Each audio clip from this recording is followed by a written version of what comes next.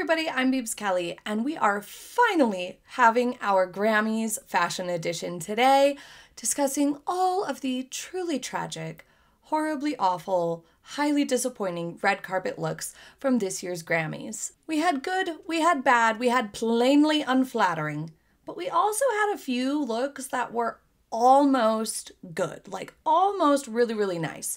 Could have been in the best dressed list if they would have just pushed it a little further or styled it a little better or not worn a terrible hairstyle. There were so many that were just almost great. So let's start there. Nothing too jarring yet. Let's begin with Alessandra Ambrosio. She wore this silver gown that is very, very smooth, luscious looking, metallic. I like the shape of it. I like the silhouette of it. I like a lot about it. But there's two major problems. First off, she didn't wear the proper undergarments because you can see her belly button, and in a dress like this that's metallic or satiny or shiny in any way, those types of things are amplified even more. It's even more obvious, and it becomes a focal point, and it shouldn't be a focal point. Some dresses, some looks or outfits, belly button might be a focal point, and that's okay if it's supposed to be, but here it is not supposed to be the focal point. If she would have just worn a smoothing undergarment, maybe even shapewear, not that she needs shapewear, just that it offers that thicker layer underneath, you wouldn't have had that. You would have had a smoother finish, and we could have appreciated the dress and the shape of the dress much better. But I also find the bottom of the dress to look too plasticky, almost like a trash bag. It's just very much not giving that sort of poured liquid gold or liquid metal that satin can give that just looks amazing. This is giving more stiff, plastic, artificial sort of trash bag. We have Alexis Roderick and Billy Joel here, and Alexis Roderick's could have been super duper nice. I really liked it at first, but the more I looked at it, the closer I looked at it, the less I liked it. I do like her styling. I think she did a great job with her jewelry, hair, and makeup here. And the dress has a great start, but it is sitting a little low. It very much looks like it's falling down. It should have had just a little bit more height to the cups. But also, this silver part just looks stuck on because you can see the black of the dress off to the sides. So it just looks like it was stuck on there in the front. That's not quite as flattering as you would hope. The skirt is also just a little bit chunky and bulky, so if it had been edited or had a little bit more finesse to it, it would have made the best dress list. Here we have Alex Isley in a custom Christian Siriano look, and this is really beautiful for a lot of reasons. I absolutely love this purple velvet. It's a beautiful color on her and it's a beautiful fresh color to see on the red carpet. I love the draping across the bottom and how it's echoed in the asymmetry, but I'm just not a huge fan of how it's looking around the belly area. I'm not sure if maybe it needed just a slightly different approach to the skirt area or if perhaps some different undergarments might have helped the situation, but I feel like it's just creating a little bit too much of a framing effect to the lower belly area on this dress that's not as flattering as she deserves. Here we have Bonnie McKee giving us a real retro vibe. The dress I really, really like. I think that the cutout and the asymmetrical sleeves and the train on the sleeve are excellent amount of drama here and provide good balance. It's a great dress. But the hairstyle is very much leaning a little bit too costumey that it took her away from the best dress list just because of that styling. The more I look at it though, the more I'm warming up to the hairstyle. Like she really did lean into the vibe and lean into the look. So I have mixed feelings. I really like it and I like that she went for it and she knew the aesthetic she wanted to go for. I think it could have been really beautiful and fresh with just a complete updo or something a little bit less costumey. What do you think though? Gina Alik had the same problem that a lot of people had, which was these sheer dresses had a lot of fails because of the way that they are doing them now. Rather than having a nude lining or wearing some sort of full bodysuit, they are just wearing nude undies underneath and it's just very much not a polished look it takes away from the effect a great deal it becomes distracting to the eye and it's just not doing it. It's not working. And here she has that exact problem. You can see her strapless bra, you can see her undergarments. And if it weren't for that, it would have been a very successful red mesh lace look here. It's a really pretty dress. It's flattering to her.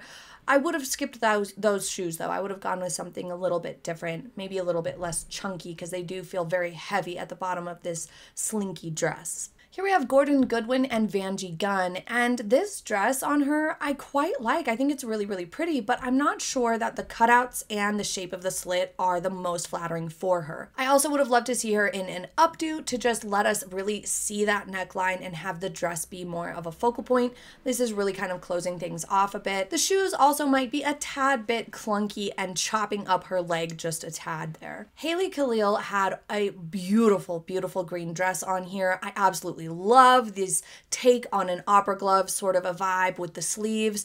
And the dress itself is gorgeous and it's very beautiful on her. It's just too low on the boob. It's cutting her boob, creating a slight quad boob effect, and just not as flattering. If the cup were just up a tad bit more, it would look wonderful. Have all the cleavage you want, just don't make it look like your cups do not fit your boobs. It takes away from the look, it looks less polished, and it actually makes cleavage look less attractive when you have the quad boob effect. Halle Bailey here in a very beautiful dress by Gucci. I really, really like her look overall. There's just literally only one problem with it. Otherwise, it would have made the best dress list. And that is, once again, the undergarments are not serving the dress at all. It's taking away from the look. You can see where she has pasties or perhaps one of those bras that wrap around and just squish. And there's a shadow or a dark line across the top of those. And then, of course, she just has on briefs underneath. It's much more sexy and much more beautiful to not have it look like your undies are on show, but rather to have lining or a bodysuit or something like that that just gives you less noise and you can let the dress and your shape, your figure be the star of the show rather than the undies creating all these lines and shadows distracting and taking away from it. Caitlin Howard was wearing this beautiful white ball gown, but there are just a couple of styling mistakes here that could have made it so much more beautiful. If she would have had her hair up, we could have really seen that beautiful neckline. It would have allowed the dress to shine better. The neckline itself, though, is very, very wide and very, very deep, and it's actually creating a widening effect across her chest that is less flattering. If it had been slightly more narrow and plunged, or wide but less deep, it would have been fine. It would have brought balance. But here it's just too much. It's giving her bust area a less flattering look. It's making it look slightly droopy just because of the shape of everything. Also, I think she would have benefited from the waistline to be nipped in a little bit lower, have the skirt begin slightly lower here because it's making her look just a tad bit frumpy, unfortunately. Here we have Kat Capone and Caleb Robbins, and Kat's dress is gorgeous. I absolutely love it. I'm obsessed with it. But for some reason, she put this terrible bag with it. This horribly distracting, ugly bag that just does not work. If she would have had a different bag, she would have made the best dress list. At the Grammys, we see a lot more costumey looks. We see a lot more performance style pieces because it's a lot of musicians and a lot of artists. So you have a greater majority wearing stuff that's more costumey. But when you do have somebody wearing something truly beautiful and flattering to them, but then they ruin it with something simple like a bag, it's just disappointing. Here we have Kelly Clarkson in this beautiful white dress that's very off the shoulder and has a little bit of an asymmetrical neckline here with the fold. I'm not loving it for her though. It's a very polished, classic look. She looks absolutely beautiful. I love her hair and makeup for this. Her jewelry is on point. The handbag is fine, but because she has a little bit of an inverted triangle body shape, this is creating an even more dramatic effect of that. It is amplifying the sort of top heavy, despite not liking that term. So it just wasn't a great match for her body type, unfortunately. Love is wearing Chanel, and this dress I am inclined to be obsessed with because it is polka dots, it has this precious soft pink color, but it is completely ruined by a poor fit and this unfortunate belt situation. I am not certain if this belt was part of the dress and design or something she added on, but no matter. The belt is creating a focal point of the lower belly. It is drawing the eye just right there, nowhere else. And with this sort of a neckline and this sort of a dress, it's meant to draw your eye up and just stay up by the face and the neckline, but instead we're being distracted by this belt and it's just not a flattering situation, unfortunately. Also, the dress just doesn't look to be fitted quite properly. I think if she would have had a better undergarment, she could have gotten a better foundation here to make it just a little bit more flattering to her figure, but also it looks like it maybe needed a tad bit of tailoring around the bust and the waistline as well. Leigh Banks is wearing a gold asymmetrical number with a very, very high collar, a cutout around the front. It's got a wrap style bust, and then it's got some sort of a champagne colored or beige sleeve that is so out of place it ruined the look. Also, with her hair down, it takes away from the dress because we cannot see what's going on with the interest around the neckline or the sleeve. So it very much missed the mark when it came to styling and also the sleeve. Lea Talabi is in the near miss category because this could have been great. This does have potential. The skirt, however, though, is a little bit stiff and the weird leaf shaped sequined cups are very out of place this look has too many things thrown at it at once. It's just not flattering to her and it's not cohesive enough to really flow nicely. I also think that an updo would have served it much, much better. Now, in this dress, there is really one major problem, Everything about Lika's dress is very beautiful and flattering to her, except for this giant shoulder pad that is just way too dramatic and chunky. The chains are maybe a little bit much, but really, if it weren't for this giant shoulder pad, it's just creating the one and only focal point here that is all you end up staring at, and it looks out of place to the flow of the dress. I think it could have been more successful if perhaps it was just a full sleeve on the other side. That would have helped it bring a little bit better balance, but it's not so I would have preferred it without the chunky shoulder pad. Here we have a handful of people looking just fine, nothing particularly special, nothing particularly wrong with the looks. Could they have been better? Yes, 100% these could have been better. But were they the worst of the night? No, they weren't. We don't have any major mistakes across these looks here. They're just okay. I guess that's better than tragic. Selena Hill trying to lean into that metallic trend, but holding her purse in a way that's completely blocking the rest of the dress. And the dress itself looks a little too heavy and wrinkly. It's giving off a cheap vibe, unfortunately. Also, here with this high neckline, lots of coverage up here, an updo might have been a little bit more fresh for this particular cut of dress. Shelley Clark would have been total best dress list if it weren't so darn wrinkly in the dress skirt here. The skirt of this dress is so wrinkly. It is the only reason why she didn't hit best dress because I absolutely love the twisted fabric across here and the corseted design of the bodice. It is so beautiful. Her necklace is gorgeous, but it's wrinkly. What's happening? Shuba was wearing a semi-naked dress here with lots and lots of sequins patterned throughout, and it is just not coming together properly. She has these really, really chunky with an ankle strap white shoes that are obviously completely visible with the style of dress, and the lining once again with the foundation garments and whatnot are just not serving the look overall. It's taking away from the look. You're adding a lot of lines and visual noise underneath the sheer paneling that it's just not working well. The rest of it I do like. I think I would have really liked this and put it on best dressed if it had just been lined nude because then you wouldn't have even been able to see the shoes. They wouldn't have mattered and the undergarment situation would not have come into play.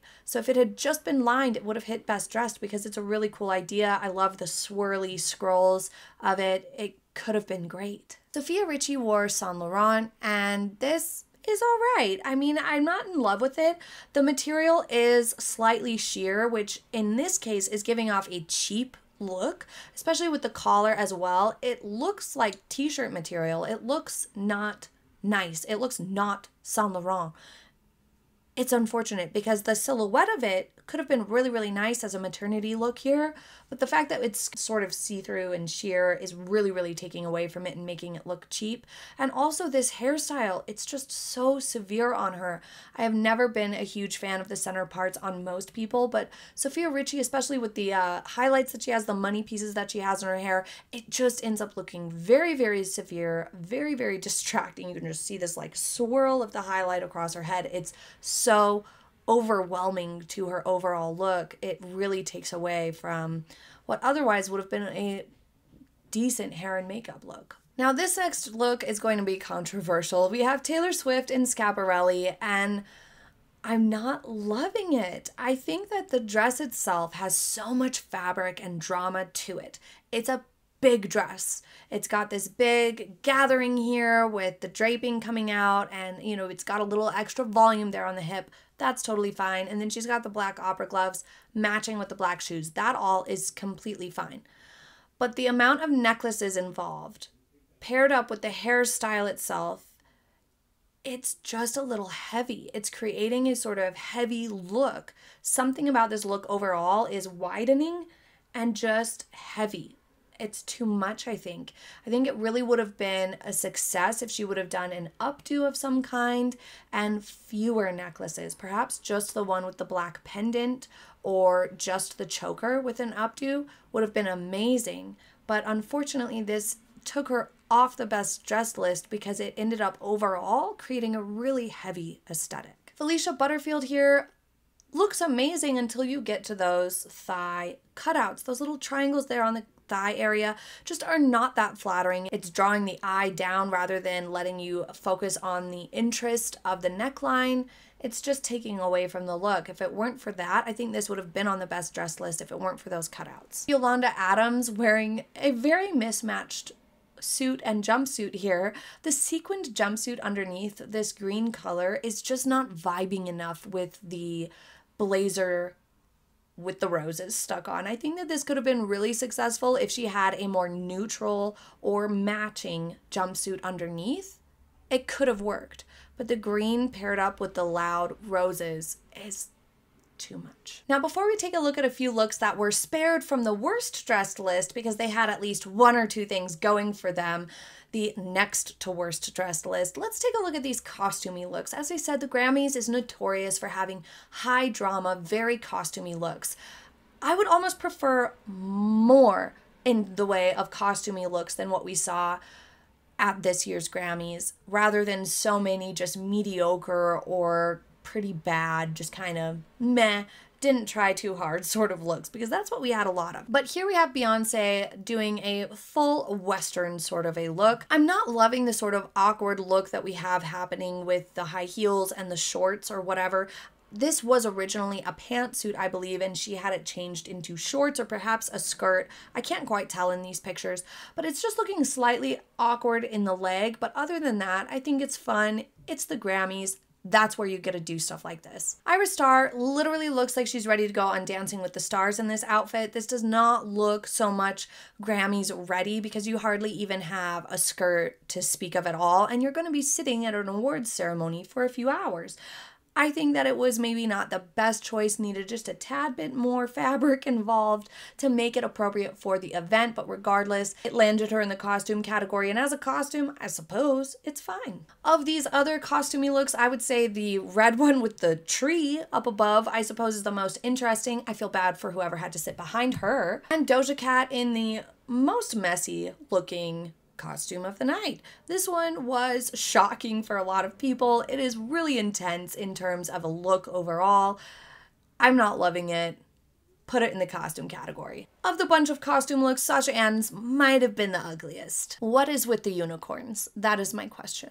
Now, on to these that were pretty bad, but I spared them from the worst dress list because you're to need to buckle up for the worst dress list. It is really, really rough. Let's begin with Allison Russell here. This fabric ended up just looking really, really cheap and like some sort of cheap bedspread or cheap curtains. No bueno. Chloe Bailey, I'm not 100% behind this one. I'm not sure that it was the most flattering option for her. And again, the fabric just is not it's not beautiful looking. It's just a bit strange. It might have been more beautiful in person. It might have had a bit more life to it, but it's just looking kind of drab and a bit like upholstery.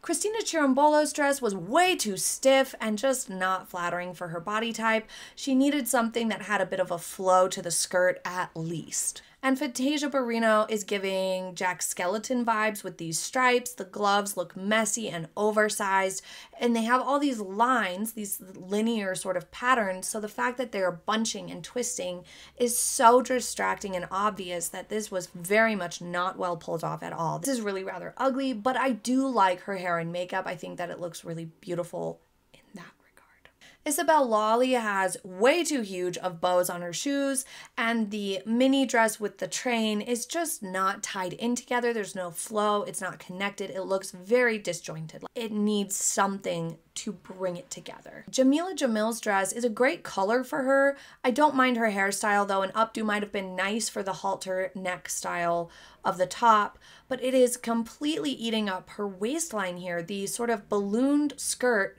is not very flattering shape for starters, but it's also starting way too high, making it look like she has very little waist here and it's kind of widening her lower belly and hip area unfairly. Kat Graham wore a sculptural dress with opera gloves that is just way too much. It's so intense. I do not understand this big, huge cardboard flap. It is just too bulky, too big, not flattering.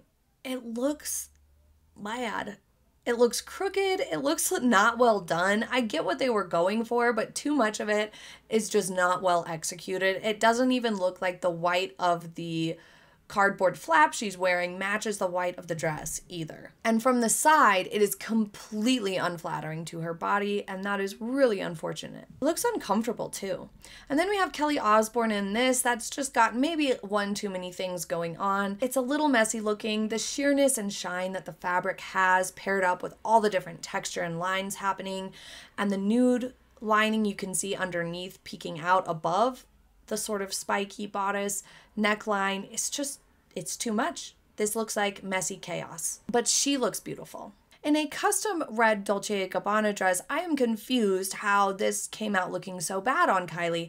I like some parts of it, the swishy skirt, the train sort of situation, but I do not like the pattern and texture throughout the waistline and bodice area is making things look wider and bigger it's not flattering to her figure, and the bust situation is just horribly ugly. As you can see, many of these near miss looks like these just have one too many thing thrown at them. They are just a little bit too much. Whether it's the styling or the dress itself, it just needed to be reined in a little bit to make it more attractive, more beautiful on the person, or just simply a more cohesive look. But then we also have these sorts that would have been not too terrible if they had just been fitted better. We have too much room in the waistlines, too much room in the bust. This collection of looks weren't the worst of the worst, but they are still so bad in so many ways. Like this on Zanna Roberts Rassi is just heavy and clunky. It does not go with her tiny little frame. She needed something that had some sort of movement to it. She needed something less consuming for her. This looks just huge and, and chunky. Similarly with all of these sheer looks. In years past, the naked dress trend, you rarely saw actual undergarments under the dresses. And now, in an attempt to update the naked dress, rather than just leave it behind where it belongs, they are trying to do just undies, visible undies under these naked dresses. So they're not lining the dresses with anything. They're not wearing a nude bodysuit or anything like that, or a nude slip or anything. They're just going with undies and a completely sheer dress, and it's just not appealing. It's not working. When you can see the line of the bra or the undies under a dress, it takes away from the effect. You are immediately distracted by that and looking at that because it adds visual noise, it adds shadows, it changes tone underneath, so it creates a more incongruous look. It chops up the look and the frame, it chops up your figure as well, and it just takes away from the overall dress and silhouette and the beauty of the person wearing it. Also, what are we doing with this watermelon here? Why are we choosing ugly dresses and ugly accessories? What's happening? Posing like this certainly doesn't help matters. Or in this case, we have a nude lining, but it stops too early and the nude overlay continues, creating a very awkward effect down at the bottom that you just can't take your eyes off of. It looks so strange. If you can see pasties, if you can see the G string, it's just not working. It does not look attractive. It makes the area look awkward and large and not appealing. Or we even have situations where there's just way too much happening, and you have briefs, and you have nude netting between, and you've got all this volume.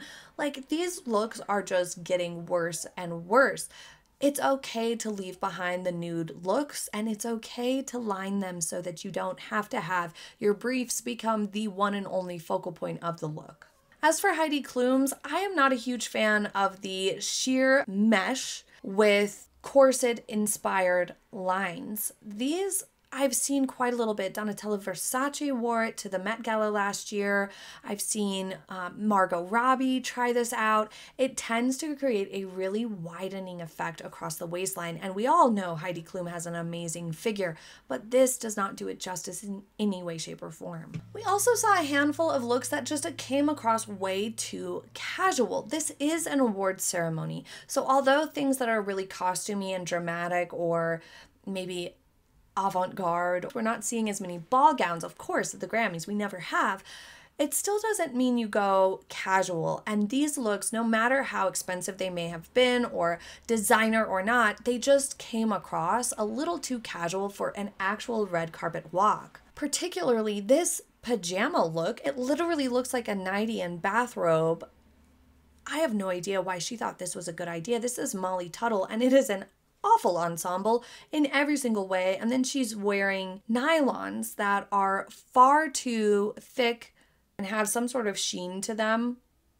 Wrong choice of nylon. And then if you're going to do a nylon, please, for heaven's sake, do not do open toed heels wear closed toe heels because this just looks so horrible in every way. I do not understand this at all. Opting for something unflattering seemed to be a theme at this year's Grammys. We have Bebe Rexha in something that is admittedly a huge improvement from the weird horsetail dress that she previously wore this, you know, looks nicer than that. Her hair and makeup look absolutely beautiful, but this still did not come across as a flattering look for her. It's very widening for her hip area, and the opera gloves are looking too messy. There is, once again, one too many things thrown at this that it takes it into an unflattering category. Terribly unflattering looks with bra straps showing. Why is that happening? Please tell me what is going on with Niecy Nash in this picture. Many of terribly unflattering, oversized, loose opera glove let's just make it clear opera gloves should not be loose like this, especially if they are sheer. They need to be nicely fitted, at least through the wrist. If you want to have some rouging or some extra fabric up here, fine, but it doesn't work well with sheer because then it just creates visual noise that is just way too distracting. But these loose, gaping, flopping opera gloves are not it. This sort of shape of skirt is rarely the most flattering option for women, and paired up with these embellishments and all the other stuff going on, this just end up looking a cluttered mess. But slightly improved from that, we have a lot of just mediocre looks, things that were just okay. Things that had interest but weren't necessarily a wow moment had a handful of styling errors or could have been improved a great deal, but were certainly far from the worst. And that is what we have here. Things are just all right. This one is quite interesting. I think from afar it's a little bit strange because you can't quite tell what's happening, but up close you can see a little bit more of it. It looks a little bit better up close, I'm sure. Dua Lipa wore custom Courrèges and I like the color, I suppose. I like the texture, but I do not like this look overall. It's not very flattering. It's making her look much bigger than she is. The cutouts there low on the hip are way too distracting. They just look like a mistake. They look weird. It looks like your pocket got torn or something. It's just not working. I do like the cuffs quite a little bit. Those are kind of fun.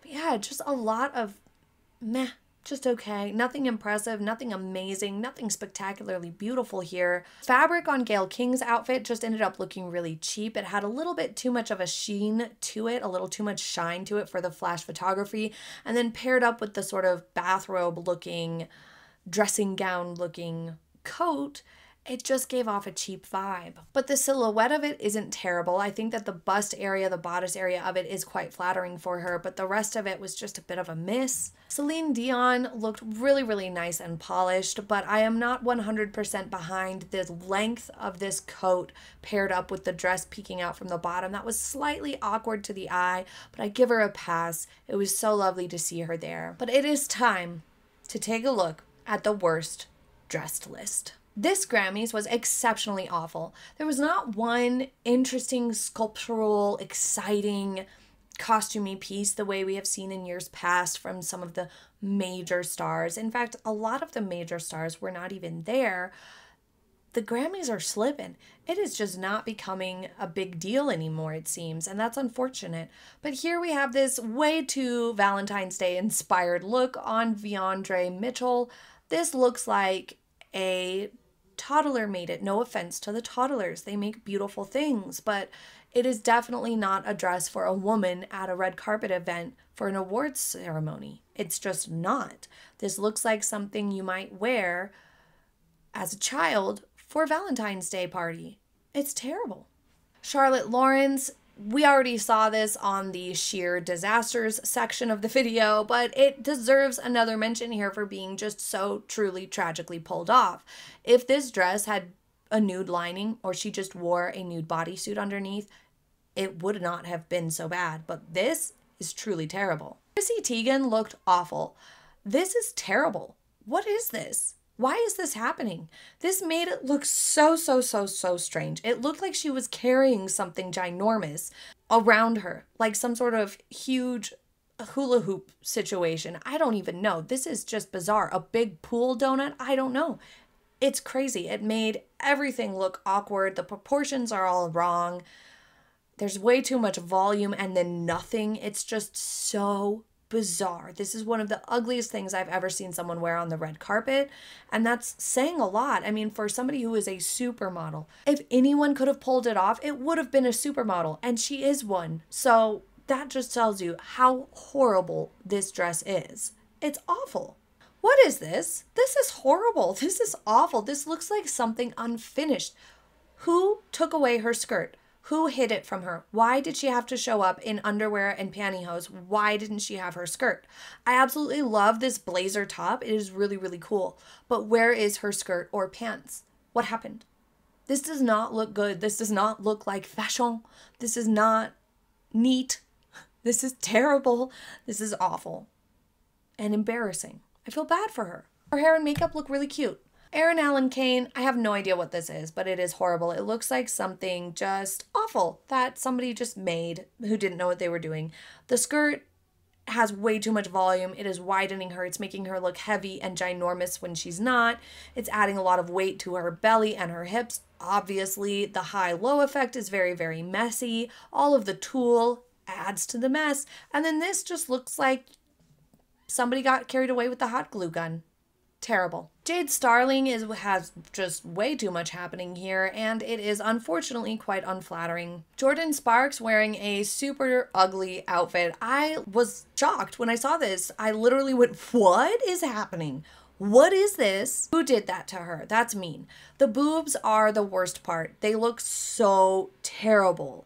It's just like, it looks like she has bags on top of her boobs or something. This is just awful in every single way. I can't find one good thing about this except maybe the fabric looks nice in the train.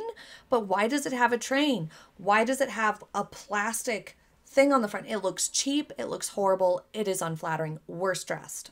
Miley Cyrus is always one to do something crazy with her fashion and her outfits, but this one I think was just taking it a step too far. It's not flattering, unfortunately. I do not like the sort of conical boobs. I do not like the loincloth vibes that it's giving. The shoes are nowhere near acceptable for this look. All of this happening up here around the collar could have been okay with paired up with something more simple and Egyptian inspired everywhere else, but it's just not working with this. This you cannot even call a dress, but it is on the worst dress list. Also, her hair who did that to her hair? What is happening? Why did they do that? It is a terrible hairstyle. It took away from everything. Missy Mazzoli looks like she's wearing something super duper cheap and super duper old fashioned and just not attractive or appealing. It created weird proportions for her bust and it's just looking cheap and poorly done.